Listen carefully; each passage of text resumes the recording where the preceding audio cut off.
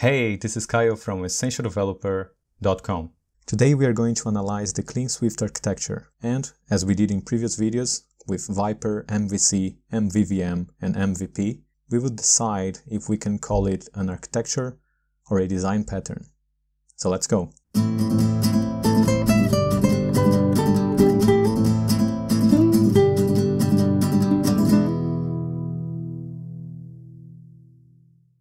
Clean Swift architecture, or as also called VIP, was introduced to the world by cleanswift.com. And, just like Viper and other patterns, the main goals for the architecture were testability and to fix the massive view controller problem. The name VIP can be confused with Viper, and interestingly enough, the creators of Viper almost called it VIP, but decided to drop the name because it could stand for very important architecture or something like that. So the clean architecture or VIP is very similar to Viper, as both originated from Uncle Bob's clean architecture ideas. So can we consider VIP a software architecture or just a design pattern? The VIP diagram describes its main structure, the view controller, interactor, and presenter, or as they call it, the VIP cycle. So the VIP cycle differs from the Viper relationship model described in our previous video. In Viper, the communication between interactor and presenter and view and presenter is bidirectional. Instead, VIP follows a unidirectional approach, where the view controller talks to the interactor exclusively. The interactor runs business logic with its collaborators and passes the output to the presenter. The presenter formats the interactor output and gives the response back to the view controller, so it can render its views, which means the presenter never talks directly with the interactor, and the view controller never talks directly with the presenter. So does this unidirectional communication model define an architecture? Also, are those three components, the view controller, interactor, and presenter, enough to describe the application architecture? It may seem like an architecture, but it's such a limited outlook of the application that we consider it a design pattern. And this design pattern has a name already, MVP. So regardless of what we call it, the MVP design pattern is not a software architecture as we explained it in a previous video. However, VIP or Clean Swift has more components than just a view controller, interactor, and presenter. For example, data models, routers, and workers. So like Viper, the Clean Swift author describes that VIP can have less or even more layers of separation as needed, but the core must follow MVP, or the VIP cycle. So the VIP cycle sounds more like an organizational design pattern that can solve the massive view controller problem and make your code more testable, but it doesn't describe the big picture or the software architecture. VIP, just like Viper and other patterns, is trying to solve class dependency issues like the massive view controller and testability rather than module dependency issues like modularity. So if the described clean Swift components or VIP components, we may end up with testable code but spaghetti architecture. VIP or Clean Swift also encourages the use of templates to facilitate its implementation. It can be very convenient to have templates, but at the same time, it may create a limited framework to think. We don't believe there is a design pattern or template that can solve all the problems and can be infinitely extended. We believe that instead of trying to fit every problem into a template, every software architecture must be carefully crafted to solve the system challenges. For example, some systems would benefit more from an event-driven producer-consumer streaming model, where other systems would not. So let's have a look at the Clean Swift sample project. You can find a link to the sample project in the video description. So I've created a diagram to show the high-level class and module dependencies. As you can see, there are arrows everywhere, crossing module boundaries. So changes to the software can break multiple modules and of course multiple tests. In the CleanSwift sample app, the application is separated in scenes. So we have a list order scene, a create order scene, and a show order scene. So let's zoom in and have a look. So as all iOS applications, it starts at the app delegate and the first view to show up on the screen is the list orders view controller the view hierarchy is set up on storyboards, but as soon as the view controller is instantiated, the view controller has the responsibility of creating its collaborators and configuring them. For example, the view controller will create the router, and configure it. The view controller is also going to create the presenter and configure it. It's going to create the interactor and configure it. So the view controller is the entry point for each scene and is also responsible for the object graph creation. Plus it's controlling the views.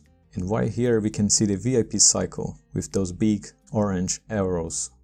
For example, the view controller will send a message to the interactor through the business logic interface that the interactor implements. The interactor will generate a response somehow and pass it to the presentation logic interface that the presenter implements, and the presenter will generate some view models and pass it to the view. Thus, we have a unidirectional flow of control here. And I've separated this diagram into files to be easier to understand all those arrows. For example, the presentation logic protocol lives in the same file as the presenter class, which means the interactor has a source code dependency to the presenter, so they cannot go into separate modules. And the same happens with the presenter depending on a protocol defined in the view controller file, which creates a source code dependency that also is going to make this not modular and all of the components depend on models defined into an enum namespace called list orders and they live in the same file. So all of the types defined within a scene are strongly coupled together. And we can fix this by moving some things around and breaking these dependencies.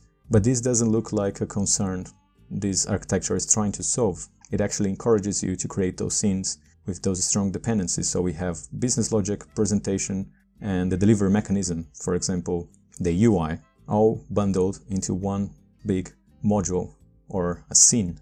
And the scene depends on UIKit, so everything depends on UIKit because those components cannot go separate ways easily. It can be fixed, but as set up in the sample project, you cannot. So when objects create its own dependencies, it gets harder and harder to decouple them. For example, the interactor collaborates with workers and it also creates and owns the workers. And the workers have other dependencies. For example, the orders worker depends on any type that conforms to the order store protocol. So the interactor also needs to create this dependency. For example, it can be an orders in-memory store or it can be a core data store, which will couple the interactor or the application business logic tightly to frameworks and services. So in this order file, we have the workers and all the store logic, which is defined in the article as somehow business logic, but it looks more like, at least in the sample project, an adapter layer. So the interactors don't need to talk directly to the database, but the interactors have to create those types, which makes them coupled and breaks the abstraction. And since the orders worker don't depend in a specific use case, they can be used across use cases. For example, we have the create order scene, where the create order interactor also creates and owns its own orders worker and also creates the worker dependencies like a core data store or an in-memory store. And in this scene, you can also see the VIP cycle interactor sending messages to the presenter, the presenter sending messages to the view controller, and the view controller sending messages to the interactor. And again, the view controller creates the object graph and configures all the dependencies for the scene. And there's also a namespace for the data models used within the scene. And everything is coupled through the source code dependencies and framework dependencies and model dependencies and as you can see, there is a green arrow here that if we follow it, we can see that scenes depend on other scenes as well. Just like we have a blue arrow showing that the create order scene also depends on the list order scene, which couples all the modules and makes things rigid and can make things hard to change. So in a big picture, looking at the software architecture, everything is coupled in a way that can make collaboration hard. It can be fixed, but as defined in the sample project, it is highly coupled. You can also see this red arrow. There is another module that depends on the create order scene. And the only module that is independent of everything is the data models module. For example, the order struct, the payment method struct, the shipping method struct, and the address struct. They all live in its own file with no external dependencies and can be seen as like the core of the application. And then every other module depends on those data models.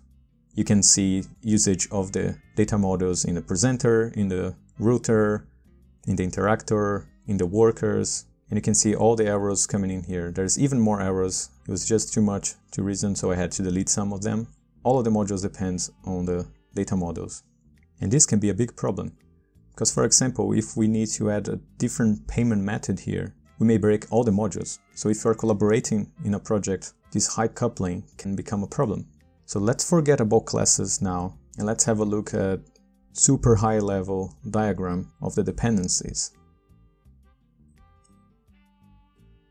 So in this high level modules dependency diagram, we can see how everything is coupled. For example, the list orders depend on the show order module and in the create orders, plus the data models, the workers, and the services. And the same goes for the create order and the show order.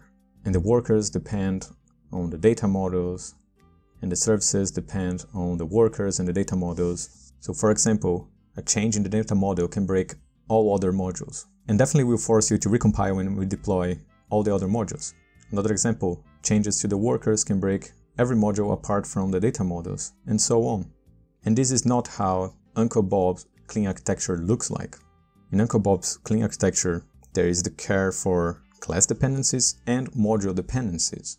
So things are not just clean or testable, but they are also modular, which facilitates changes and collaboration. So let's have a look at those dependencies in a circular diagram.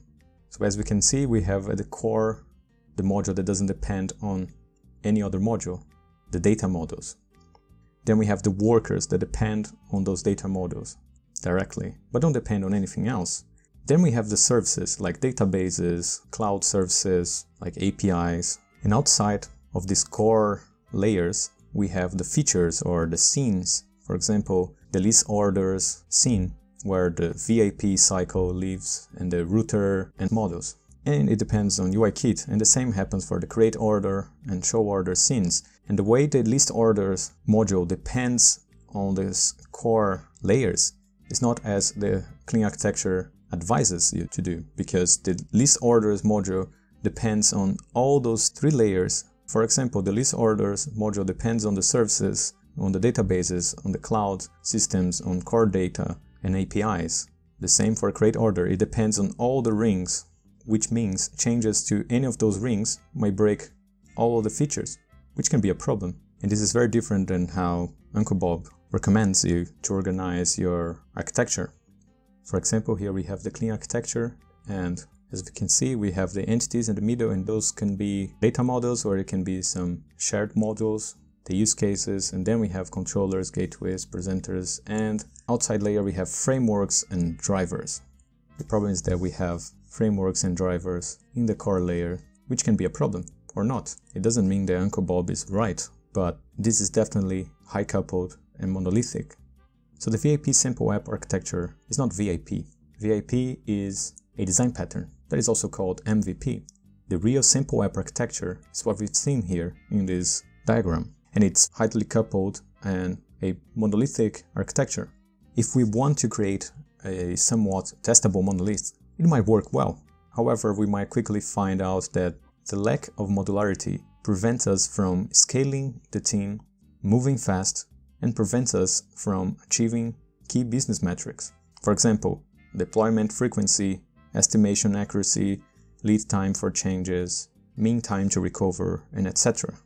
As explained in the previous video, we believe that software architecture is less about your types, classes, and even responsibilities, and more about how the components communicate to each other, how they depend on each other, and what is the shared understanding of the senior developers regarding what are the important parts, what is coupled, what is decoupled, what is hard to change, what is easy to change, and why, how is the data flowing between layers, and why? Is the data going in one direction, two directions, multiple directions? Can we support the business short and long-term goals? So we would like to reinforce that our code bases are like living organisms and they are changing all the time. So does the architecture. It is constantly evolving and there are no templates for that. At Essential Developer, we do believe software architecture has a strong correlation with product success, product longevity, and product sustainability. So we advise professional developers to learn from Uncle Bob's clean architecture, VIP, Viper, MVC, MVVM, MVP, and other patterns, but not try to copy and paste solutions. Remember, every challenge is different and there are no silver bullets. So VIP, Viper, MVC, MVVM, MVP as design patterns can guide you towards more structured components. However, they don't define the big picture, software architecture. So use them with care. We hope you enjoyed this video and learned something today. Don't forget to subscribe and I see you next time.